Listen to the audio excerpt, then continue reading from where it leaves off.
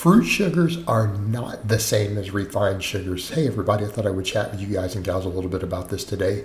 So, you know, this is one of these topics, it's going to have a bit of nuance, but if people need to understand it, you know they'll say things like well you know it's it's uh, natural sugars aren't a problem or other people say well yes they are. Uh, it's sugar is sugar. But that that really isn't the case. Our, our concerns with sugar are not the fact that it's simple carbohydrate. Um, human body handles simple carbohydrates uh, just fine. Uh, glucose is our primary fuel source, and if you're metabolically healthy and haven't damaged your body, uh, haven't made yourself obese, all these other things, glucose itself is, is something that we thrive on. So when we understand why we're concerned with refined sugars, it's because of the fructose content specifically. Uh, because glucose is a different molecule than fructose, and the human body uh, does not burn fructose as a fuel. Okay, it has to convert it into glucose, and fructose itself is technically toxic, right? And people can say, "What? Yeah, it actually is. Uh, it, it is toxic." And absolutely, when it reaches the liver, raises liver enzymes just like alcohol does, which is also a toxin. But to understand the process, our body actually handles fructose that we eat relatively well. It's fructose uh, in large amounts in the bloodstream that's the problem. So let me explain. Under normal conditions, fruit is in a is in a whole matrix. It has fiber. It is. It takes time to digest. Takes time to break down. Uh, to even get to some of it because of the matrix of the whole food, your gut flora has to break it down a little bit. In, in other words, it usually reaches the lower intestine. Right, the upper intestine only absorbs a small amount of, of the fructose and the sugars and the glucose also that's in fruit, uh, because again we have to break it down.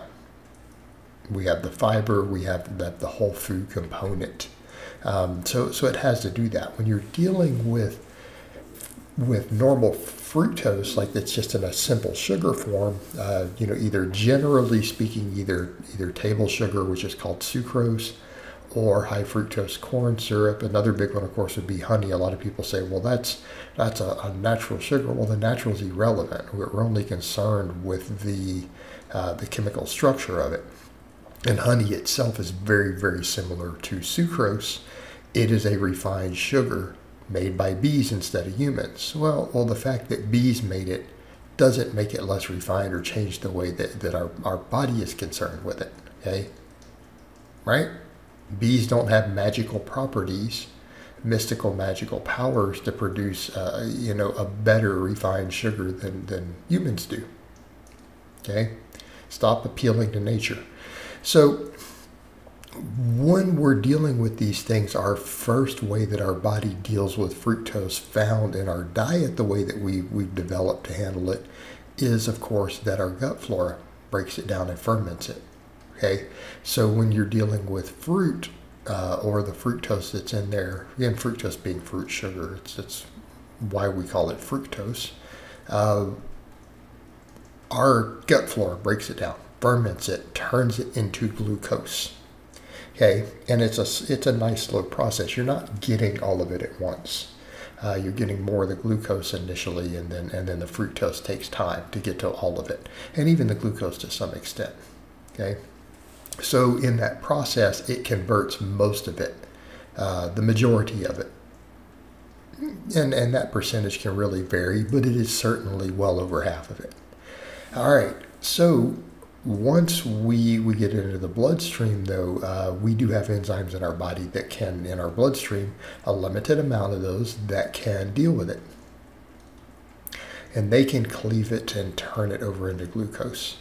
Uh, so this is one reason why we say even refined sugars, yeah, there can be some inflammation and other stuff from it, but we can even handle small amounts of refined sugars, but those are absorbed in the upper intestine. So when you consume a refined sugar, I don't care if it's sucrose, high fructose corn syrup, honey, whatever, by the time it reaches the, the upper intestine, it's already broken down. There's not really a significant difference uh, chemically anymore. There can be some a few vitamins and antioxidants in the honey, but the, the fructose and glucose are usually free. The stomach acids breaks all of those simple sugars, that little bond in them down. Uh, and you have fructose free right there in the upper intestine ready to be absorbed. Okay, so that's the problem. Then, of course, uh, we have enzymes in our bloodstream that can handle certain amounts of fructose. Now, glucose we can handle an unlimited amount of. Okay, we, we can handle we can handle those starchy chains, everything just fine. We have an almost unlimited enzymic capacity for that. But fructose, because it, as you would expect in nature, we only have access to a limited amount of it our bodies just have never developed the enzymes to handle large amounts of it. They handle small amounts of it. But generally, even if you were to sit down and eat, say, 1,500 calories of bananas or watermelon, which would be an entire gigantic watermelon, by the way. Usually those are about 12 or 1,300 calories. If you were to consume that all in one sitting, you still have the enzymes in the bloodstream after what gets through the gut reaches it, we probably have for most people. And again, people say, well, how many of those enzymes do we have? It varies. It varies based upon genetics, uh, your family, what part of the world you're from. Uh, I mean, so many different factors impact it. It's not a set amount. But it does exist in pretty much everybody. Okay? we can still handle pretty much all of it from uh, from fruit, uh, if not the vast majority, even from a very large amount of fruit. Because again, most of it is handled by the gut. So then, whatever gets through that that pathway that reaches the liver, guess what happens? Then our liver has to deal with it, and our liver treats it just like alcohol. It has to make it into something usable, but it puts a load on the liver Okay, which is why large amounts of refined sugar can cause non-alcoholic fatty liver. Right, fructose and saturated fat reaching the liver are what cause that. This has been found in the lab repeatedly, directly in the lab when we measure it. Okay, those are the things that cause fatty liver at the highest rates. So that's the point is that it is possible because we're bypassing uh, the, the lower intestine and going straight to the upper, it is possible to exceed the enzymic pathway pretty easily with refined sugars and put a load on the liver. And even that small load on the liver, it can handle. It's fairly robust. It's that large amount that creates problems. That starts creating insulin resistance. It starts creating uh, non-alcoholic fatty liver It causes, uh, you know, again, accumulation of visceral fat in the liver. Hey, but with fruit, consuming quantities that are capable of doing this uh, is extremely difficult. Extremely difficult. It could be done in theory, but you'd have to really, really, really try hard.